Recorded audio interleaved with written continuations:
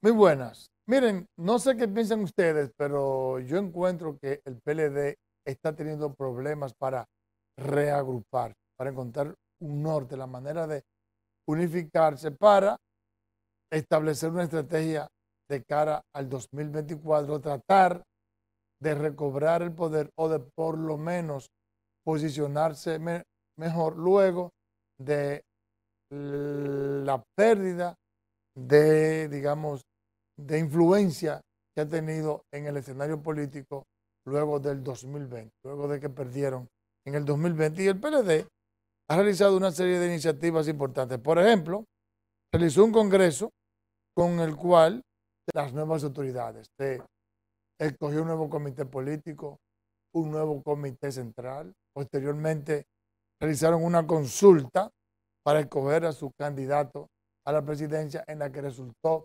electo Abel Martínez. Y se pensaba que luego de estos movimientos políticos realizados de manera interna, se iba a lograr una reunificación del PLD y, e iban a tener eh, un accionar monolítico de cara al 24. Sin embargo, se ven algunas situaciones que hablan, definen que no hay una cohesión en el PLD. Por ejemplo, en esta semana, o mejor dicho, ayer, Margarita Cedeño de Fernández colgó un tuit que decía de la siguiente manera. En el pasado hemos tenido un propósito común. Lo construimos mediante el diálogo.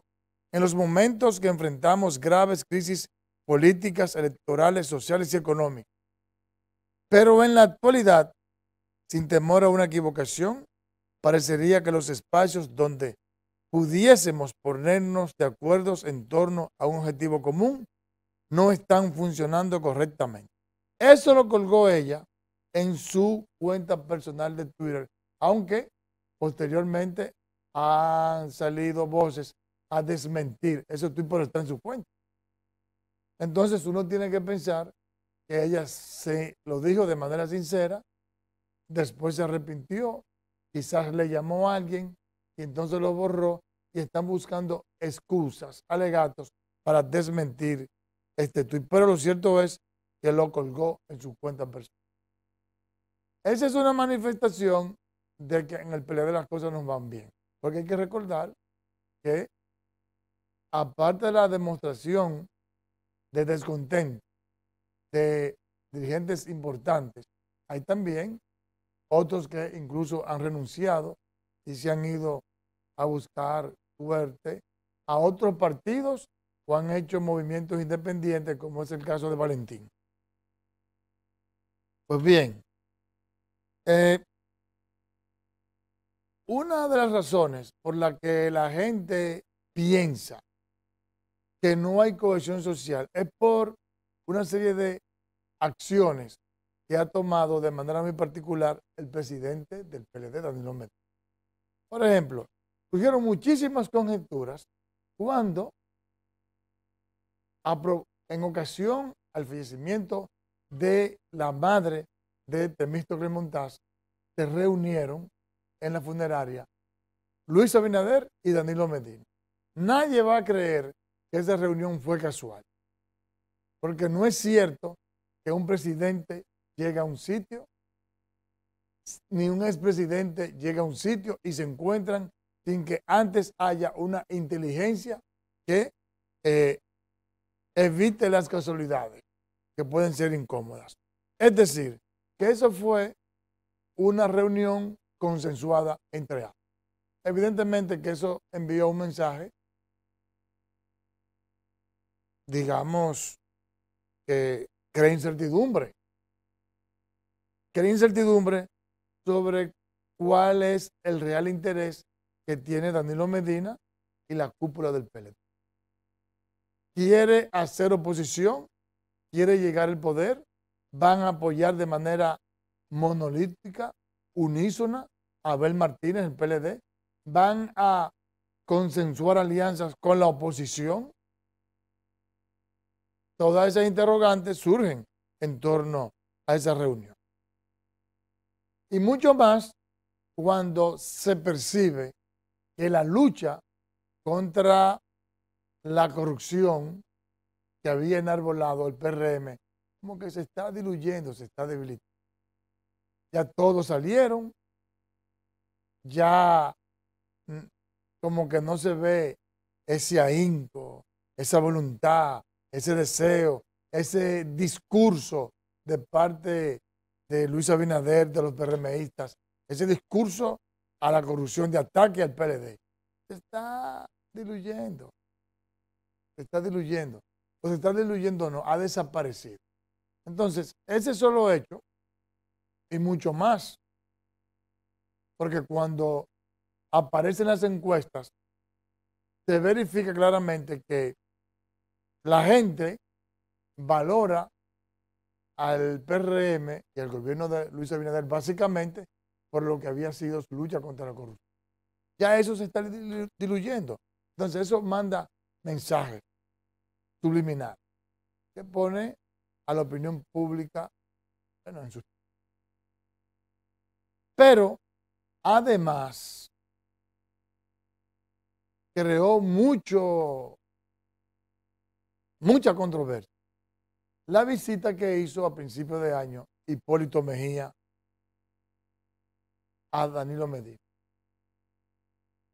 Ahí entonces todavía subió más, cogió más fuerza el rumor, la idea de que ciertamente Danilo Medina Hipólito Mejía, que todo el mundo lo ha concebido como socios políticos, ciertamente quieren echarle un jabón al sancocho en las pretensiones de Abel Martínez de ser el candidato a la presidencia del PLD y ganador en las elecciones del 2024.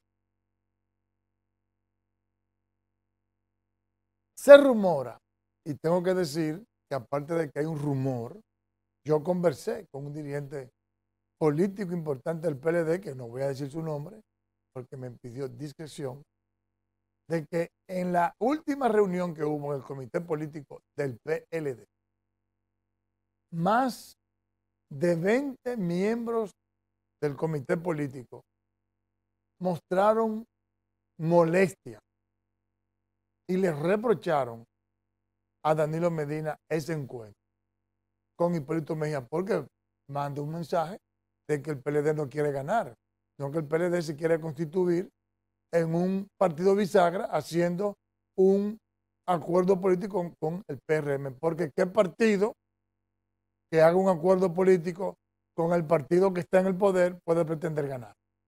Tiene que hacer oposición.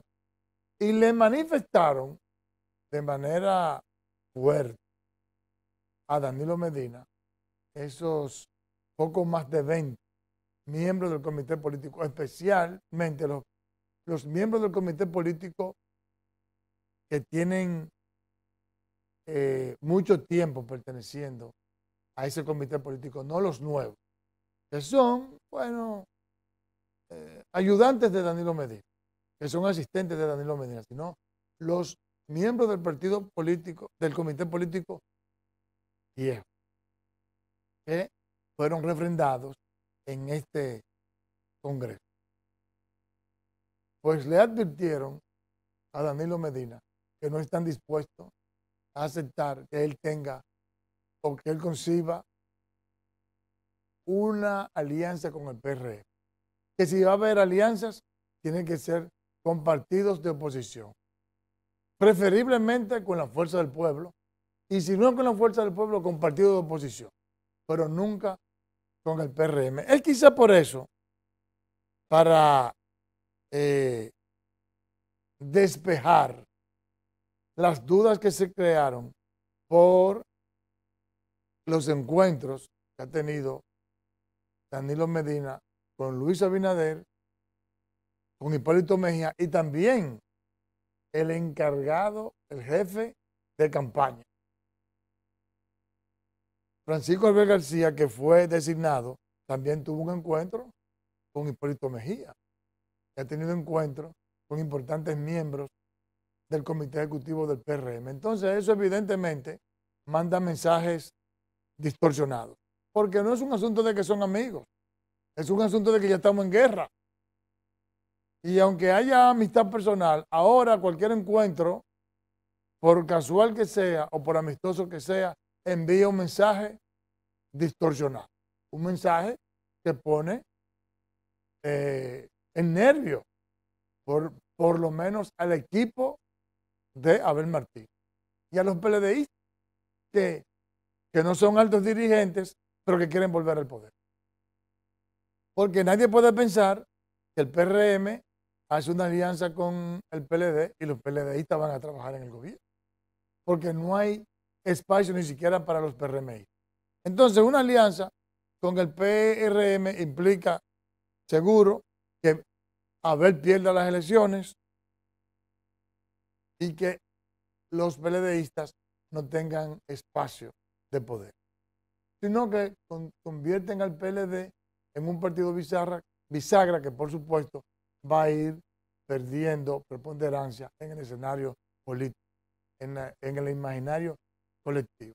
Que de por sí el PLD era el partido hegemón y ahora está, está algunos dicen, en tercer lugar. Entonces fue quizá por eso, para despejar esas dudas, que Danilo Medina en esta semana, este fin de semana, hizo una especie de visita sorpresa y se reunió con eh, empresarios del campo que habían sido eh, beneficiados con la inversión de la visita sorpresa y dijo, no tengan miedo de este gobierno, que este gobierno es mucho pico y pala y poca tijera. Como diciendo que se hacen muchas inauguraciones, muchas eh, inauguraciones de obras, pero nunca se termina. Yo creo que esa fue una iniciativa interesante, inteligente de Danilo Medina para cambiar la percepción que tiene el colectivo de que Danilo Medina está trabajando para sus intereses personales, no para los intereses de su partido de manera particular, para hacer que Abel Martínez tenga posibilidad de ganar y de tener una interesante participación en el próximo proceso electoral y de manera particular el PLD pueda posicionar. Así que yo creo que fue una jugada inteligente de Danilo Medina y yo les recomiendo que ciertamente las fricciones que existen entre el PLD y la fuerza del pueblo, Danilo Medina tiene que ser un precursor para que se vayan desvaneciendo. Porque en un escenario político donde hay tres partidos mayoritarios, en un escenario de segunda vuelta, si se quiere volver al poder, hay que negociar una coalición de partidos de oposición. Ningún partido que se aferre al PRM va a ser visto como una opción. Porque se supone que se saca del poder a un partido con los votos de la oposición, con los votos de la gente que se opone a ese partido, al partido que está en el poder. Si tú te alineas a los intereses de ese partido con alianza, entonces la gente que vota no es verdad que va a votar por ti, te va a negar el voto. Entonces, si tú quieres conquistar votos, necesariamente tiene que encabezar o ser parte de una coalición de partidos de oposición para enfrentar al gobierno. Nos vemos en un próximo comentario.